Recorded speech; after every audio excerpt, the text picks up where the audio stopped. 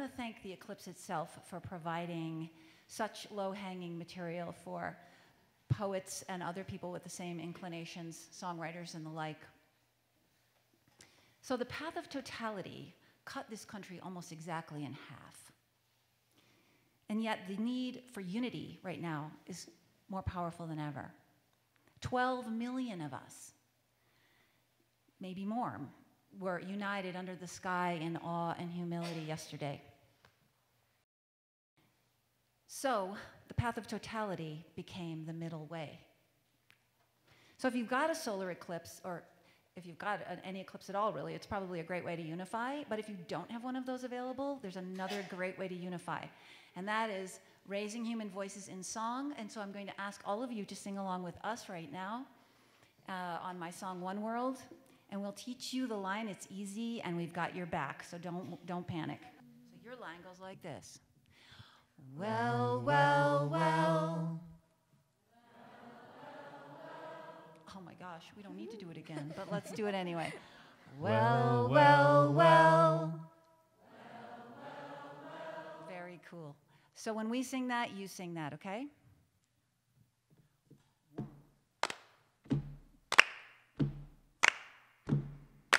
Well, well, well. Well, well, well, sing it with us now. Well, well, well. Well, well, well.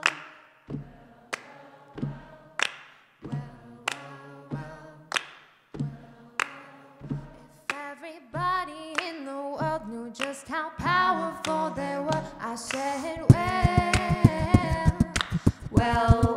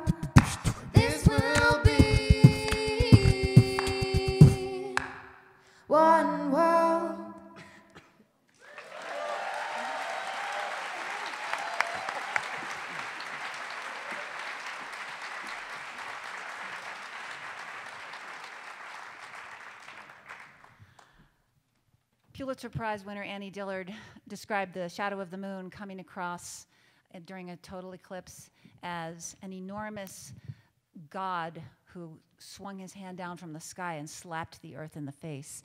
Maybe that was a wake up slap. I think maybe so. Wake up and love each other. That's the chorus to Aspen's song, which she and Walden performed One World earlier this summer, and then Aspen was inspired to write America the Beautiful.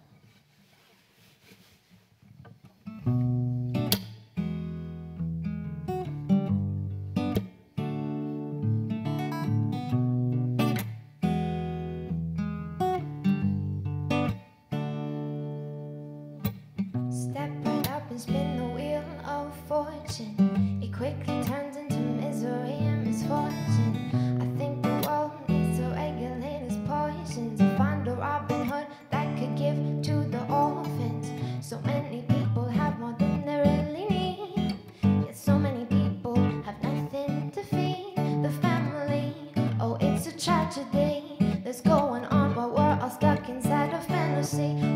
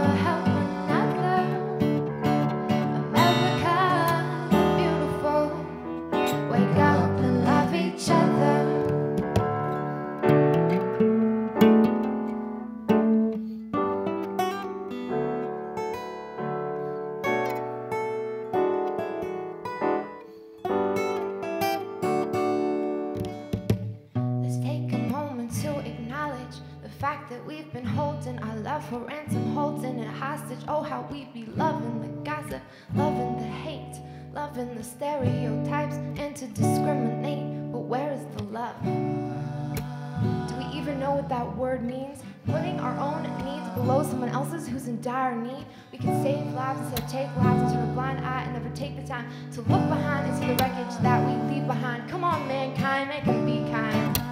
We're inclined to be self centered, but we can redesign how we think with just a little extra time and effort. If we stand together, who could stand against us? America, the beautiful, let me see you stand up.